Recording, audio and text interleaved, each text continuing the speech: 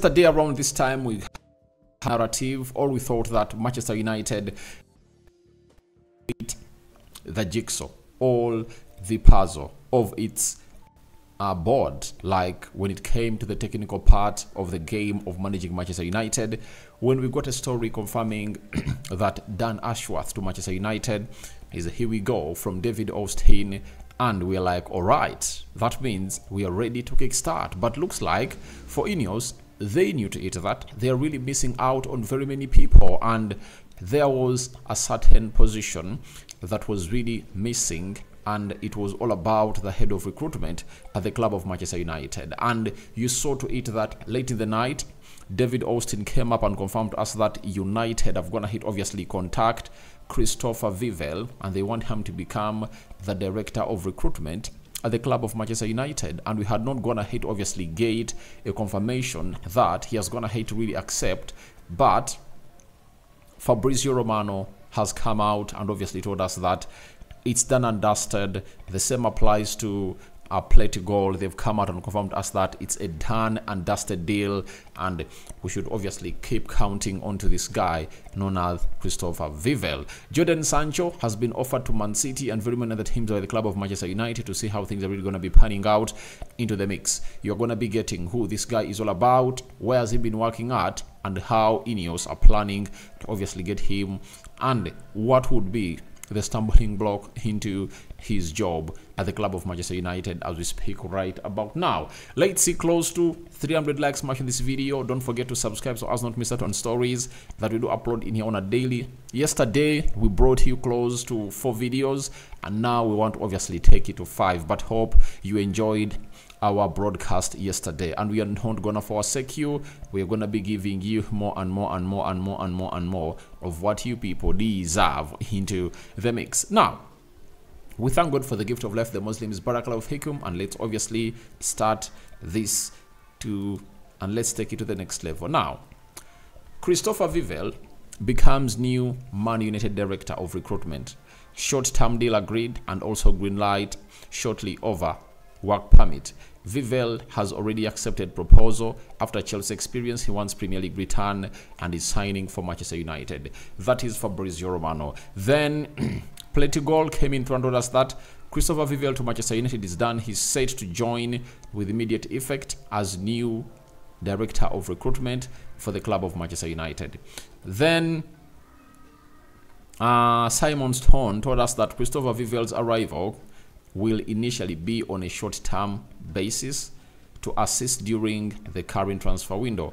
Although an extended stay has not been ruled out as much as United look to strengthen their football leadership and recruitment departments. Now, even when David Ornstein was really bringing this story to light, he told us that Manchester United is looking at a short-term stay for this guy and we are like, all right, let's wait and see how that really pans out. If at all it's really a short-term stay, then we'll be we'll be told whether it is or not. But as it stands, looks like I think he's one of those people that Manchester United will keep here for some long time because he has the experience and he wants obviously prove to Chelsea that we parted ways, but Man United has gonna hit obviously get me right. Now, before I obviously let you know what I think about his coming through Manchester United. Let me really bring you his um his background.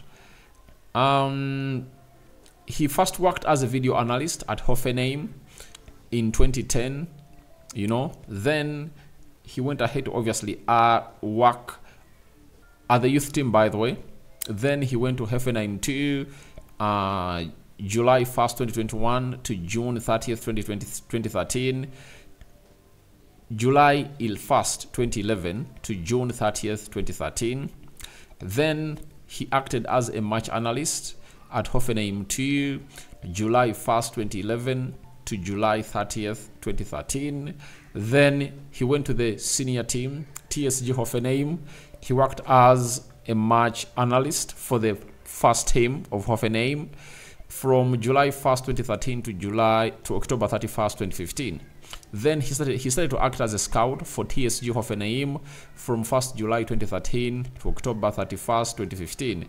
Then he joined RB Salzburg as a head of scouting on the 1st of November 2015 to July 31st, 2020, meaning that he was there for five years at RB Leipzig.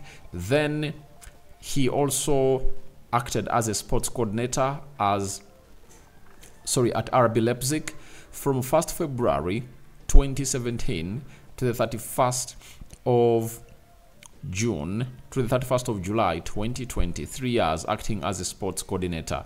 Then at RB Leipzig, he was he went ahead to act as a technical director 1st August 2020 to 7th October 2022. Then he acted as a squad planner at RB Leipzig from the 1st of July 2021 to the 7th of October 2022. And he was acting as a technical director from December 21st, 2022 to July 2021, sorry, to July 21st, 2023. So when you look at his role, he has been working at some of the teams that are really good at recruitment, and I think he deserves that post of being the head of recruitment into the mix because Manchester United has been having a very bad recruitment uh, behavior. And I think it now comes to an end because if at all you are having the CEO as Omar Berrada, director of football, that is Dan Ashworth, uh, technical director, Jason Wilcox, and then you bring in the head of recruitment who goes by names of Vivell. Now, when you look at the structure of Manchester United, this is the right man to come in through because he's a, he has done scouting, he has coordinated, video analyst, match analyst, everything. He knows to negotiate even deals to take them to where they deserve to be. So we would love to obviously thank the side of Ineos on the work they're doing at the club of Manchester United. And I think now, if Erik Ten Hag fails, I'll be the first person to come out and say he should be out. If you hear me here, if you hear me out, backing Erik Ten Hag after getting in this team, then you'll call me not my name. You'll call me a dog because I believe he has now the best working environment ever at Manchester United. And in the history of Manchester United, no manager has ever gone ahead to come in through and really get exhibited to such a working condition.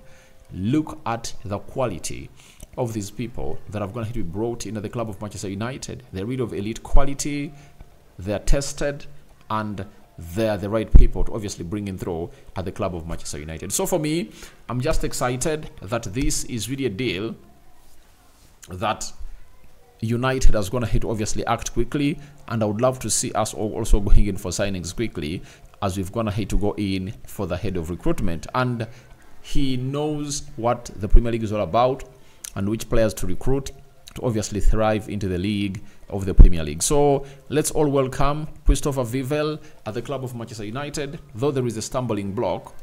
And um, it's all about Plettigoal confirming to us that all that's missing is the work permit of Christopher Vivell for the 30, for the 37 year old, the former technical director from Chelsea with many options, but decided to join Manchester United on a short term contract. United is one of the big clubs that everyone would obviously want to be working for because with the structure being the first of a kind at the club of Manchester United, I tell you, every person who knows that he's good at the job would like to be part of the transformation that a list of people will be put out if all this goes on as planned. And I think it's going to go on as planned because Manchester United has been competing a little bit without such a structure. Now, the structure comes in through, that means the list of these people will be honored and we will be knowing that Sir Jim Ratcliffe, Jean-Claude, uh, Dave Brailsford, Omar Berrada, Jason Wilcox, Dan Ashworth, Vivell Christopher, Erik Ten Hag, Ruud van Nistelrooy, René Hake, etc. were the spine of retaking United back to where it deserves to be because none of the clubs has the fan base we have. One. Two, if we get back to winning ways, we are gonna break the records of making money, meaning that we'll be able to sign and attract very many other big players because Manchester United has been attracting big players, but we haven't gone ahead to be winning very many trophies. You get? But with the squad put up, I tell you, we are gonna become a problem. You get? And Erik Ten Hag is blessed, I tell you, because he's now having exactly what Pep Guardiola is having at Man City. Now it's up to him to show us that he can really take this team to where it deserves to be, right? Because he's a very good coach, and at a certain point X, before last season came to an end, he put out a statement that I cannot play as I used to play at Ajax because I don't have the people like the ones I had at Ajax. And he had all that hierarchy ahead of him that was really doing the job. Now he has very many people that can obviously scout good players and obviously get him better players at the club of Manchester United. And Vivell Christopher joins them, and let's obviously welcome him at the club of Manchester United. Now, Team Talk went ahead and put out a story that Jordan Man City are one of the clubs offered a chance to sign Jadon Sancho. Manchester United is desperate to let Jadon Sancho go, and they're trying to offer him to different Premier League teams. And the other two that I want to know about are Arsenal and Chelsea. And I don't think that Man City can obviously sign Jadon Sancho because of his attitude. No big no big club in the Premier League is going to come in through and sign Jadon Sancho unless he's up for free. But I don't think they can obviously mix a pinch of salt into the milk because you'll be like not doing justice to the side of the milk. And yet united is the milk and sancho is just a pinch of salt. So you just can't do that. And um, i think time will come and we'll even reduce the price of sancho to 30 million pounds or 20 because it's better you offload him and accept that loss that it came in through and we can live without Jadon Sancho, a player who is not willing to offer an apology to the manager to continue his spell at the club of Manchester United is as good as gone. And if I'm Ineos, I just let him go and really negotiate a very good package with the likes of Juventus because Juventus is like, we are willing to obviously take in Jadon Sancho. And obviously, he can come in through and do the needful. So wait and see how that pans out. But I don't know whether Man City will obviously sign this guy or Arsenal or Chelsea. So I call upon for your reactions into the comment section below about Christopher Vivell, near United head of recruitment. Confirmed. What do you make about it? And do you think Man City can really accept Jadon Sancho to return to their side? All that and more into the comment section below. And David is my name. First video of the day. More is yet to come. I sign out for now. See you later and I cover you all in the precious blood of Jesus Christ. And we out for now. Bye bye.